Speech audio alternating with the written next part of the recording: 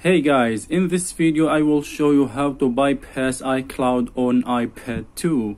In this video I will show you two methods to bypass iCloud. The first is tethered bypass and the second is untethered bypass. Just follow my steps to get tethered or untethered bypass.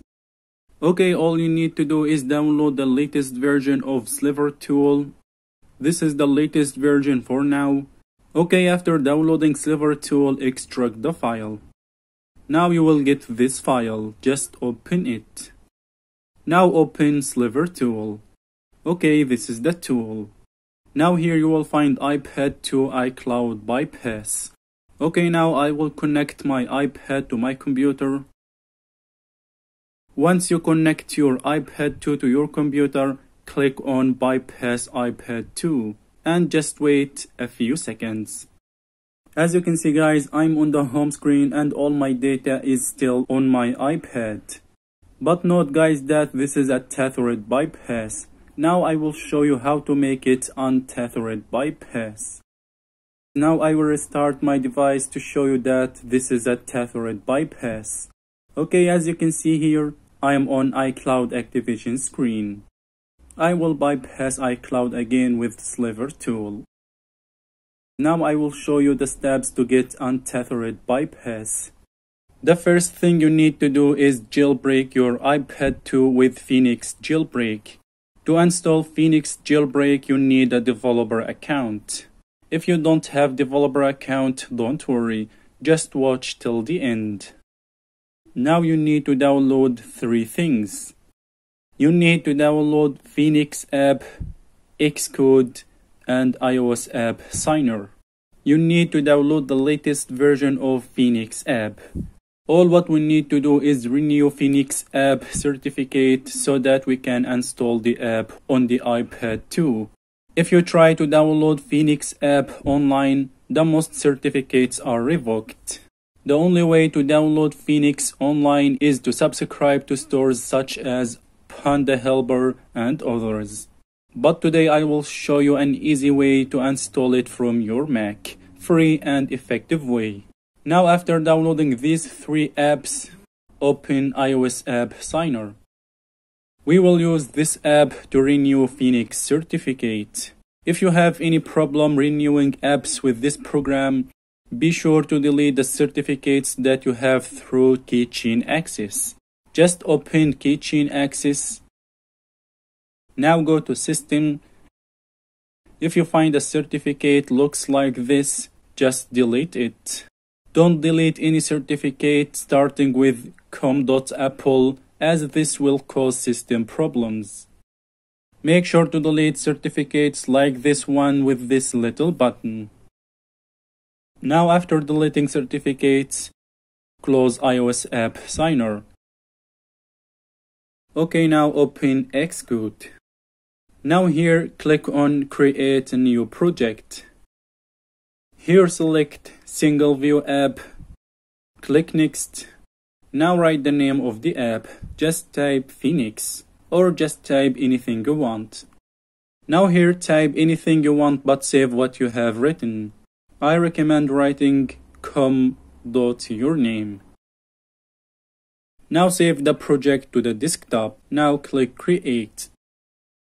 Now here make sure to enable automatically manage signing. Now Xcode will create a new certificate for this app.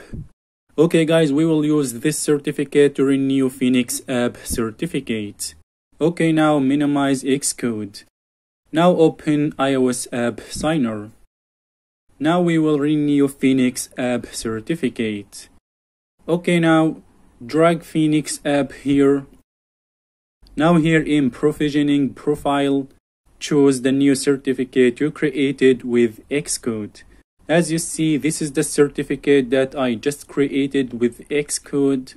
Make sure to choose the new certificate that you created.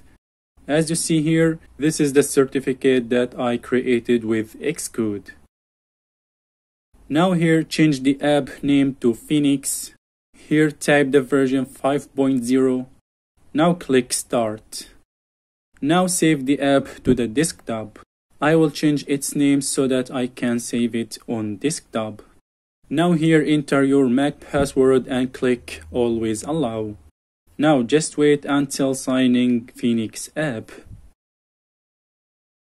As you can see here, the app certificate has been successfully renewed and now you need to install Phoenix app on your iPad.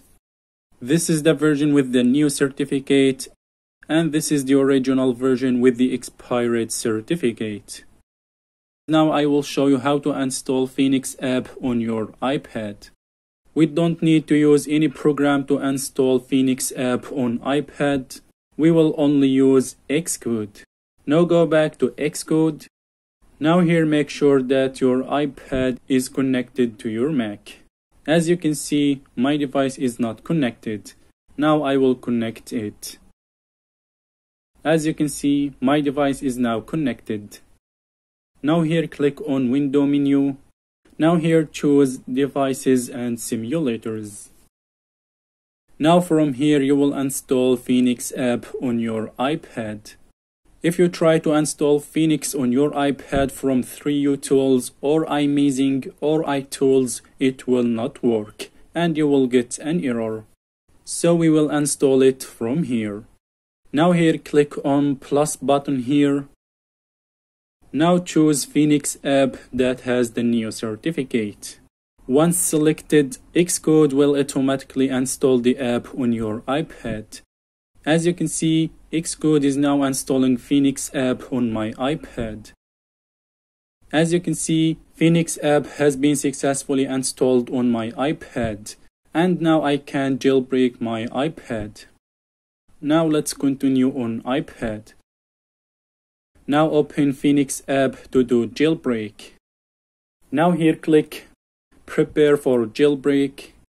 Now here click accept. Now here click proceed with jailbreak.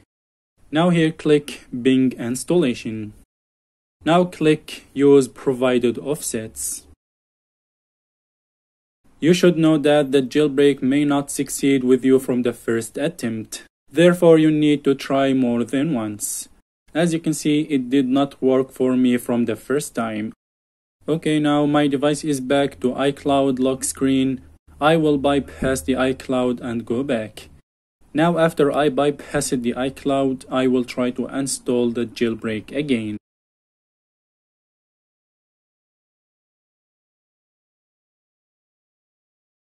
As you can see, didn't succeed with me from the second time either.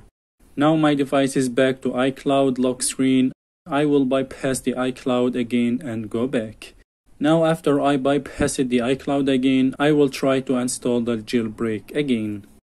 Okay guys, when installing the jailbreak, make sure that your iPad is connected to the internet. It's important. Okay, as you can see now, it should take about a minute to install the jailbreak. As you see, the jailbreak is now installed on my iPad. As you see, the installation is complete. The device will be restarted. So you will need to bypass the iCloud again. I am going to bypass the iCloud and go back. Okay, as you can see here, now I have Cydia on my iPad. Now open Cydia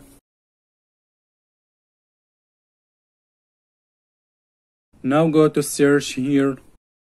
Now search for iFile tweak or files FileZilla tweak. I will download FileZilla because it's better and faster. Okay now after installing FileZilla or iFile open it. I will open FileZilla. Now go to the root view. Just go back from here, back, back, Okay, this is the root view. Now open applications folder. Now here scroll down and search for setup.app folder. Okay, now all you need to do here is delete this folder. Just remove setup.app folder. You can delete the folder by swipe the folder to the left or by click edit button at the top here. Remove setup.app folder. After deleting this folder, restart your iPad and now you have untethered bypass. Now I will restart my iPad.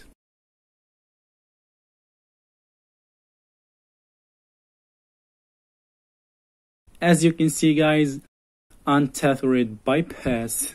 If you followed the steps correctly, it should work for you too. As I said before, if you don't have a developer account, download this version of Phoenix app and install it with Xcode. This is the version that I renewed its certificate with my account and it's valid for one year. Just download it and install it on your iPad with Xcode. If you try to install it with 3utools or iTools or iMazing, it will not work. You will get an error. Thanks for watching. Peace.